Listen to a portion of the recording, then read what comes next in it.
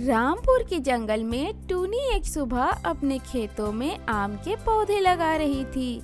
तभी वहाँ मंटू आता है और पूछने लगता है अरे टूनी, तुम यहाँ क्या कर रही हो?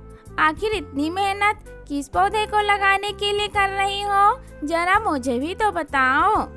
मंटू, ये सारे पौधे आम के हैं। कुछ महीनों बाद यह पौधे बड़े हो जाएँगे और गर्मियों का मौसम भी आ जाएगा। तब तक इन पौधों से आम फलने लगेंगे।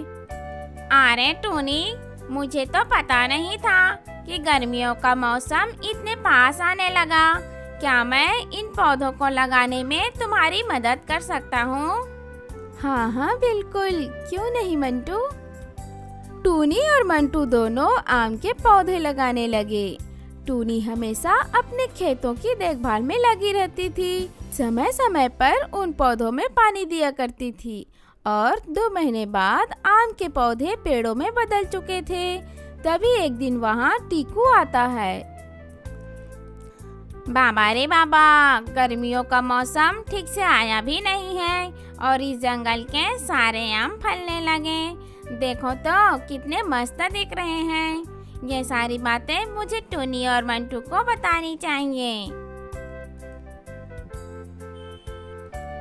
टीकू उन पौधों के बारे में बताता है कि इस जंगल में बड़े बड़े आम के पेड़ लगे हैं, जिन पर अब हरे हरे आम फले हुए हैं। तभी मंटू कहने लगता है कि वह सारे आम टूनी के खेतों की है।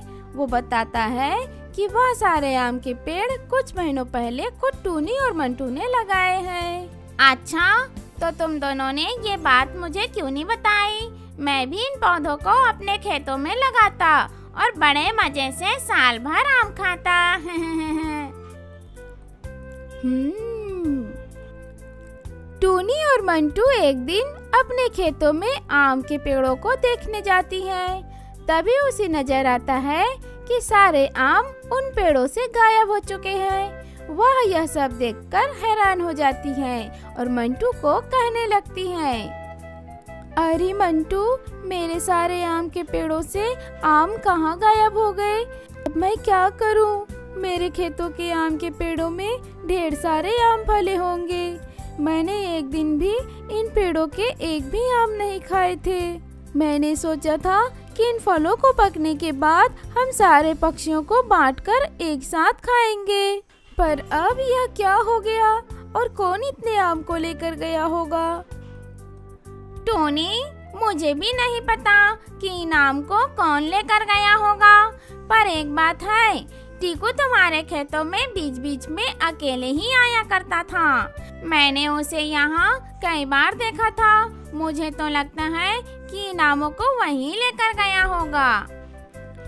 टोनी और मंटू टीकू के घोंसले पर पहुँचते हैं। वो देखते हैं कि टीकू वहाँ पर है ही नहीं, पर उसके घोंसले में एक बड़ी सी टोकरी होती है, जिसमें ढेर सारा पका हुआ आम होता है। तभी टूनी ये सब देखकर रोने लगती है। टीकू, ये सारे आम मुझसे पूछ कर लाता तो मैं शायद आम उसे दे देती, पर उसने मेरे साथ धोखा किया है। टीकू, तुमने टूनी के साथ धोखा किया है।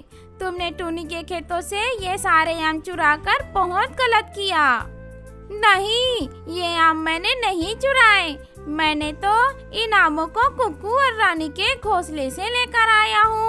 मेरी बातों पे तुम्हें यकीन न हो तो तुम दोनों खुद कुकू और रानी से पूछ सकते हो। बाप रे बाप, हमें क्या पता था कि वो बड़ा सा खेत, जिसमें हज़ारों आम फले हैं, वो टूनी के खेतों की है। अगर ये बात हमें पता होती तो हम ऐसी गलती नहीं करते। अच्छा तुम दोनों बहने हर बार कोई गड़बड़ करते हो, और नतीजा मुझे भुगतना पड़ता है। कोई नहीं, टीकू, हमें माफ़ कर दो। चलो इन पके हुए आमों को हम सब पक्षियों को बांट कर खाए। हाँ हाँ चलो। बड़ा मज़ा आया। मैंने आम जो खाया।